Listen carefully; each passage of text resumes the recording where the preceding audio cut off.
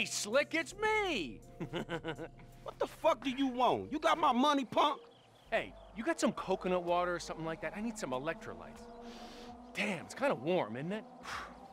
Man, you got a death wish or something. Am I supposed to kill you now? Oh, no, bro.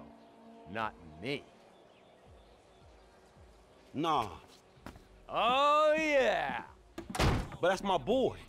But that's my boy. He has betrayed everyone he's ever known. He's got you involved with the federal government, and he's messed up several business ventures of mine. He has got to go. And you know what? I'd like to say that this isn't personal, but it is personal.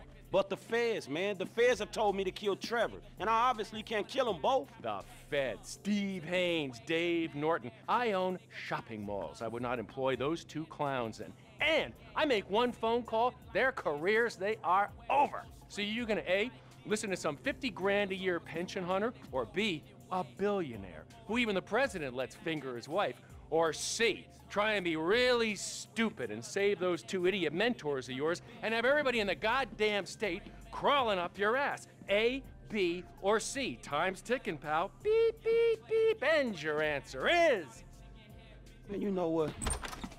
Man, fuck you. genius answer, pal. Total genius, but time is running. You think about it. Me, I got a triathlon coming up, and I am in deep training. Bye-bye. Man, fuck you.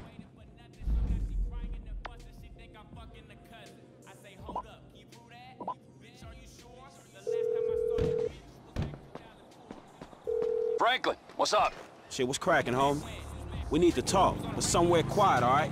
Yeah, sure, man. Whatever you need. How about one of those empty lots off El Burro on the east side of town?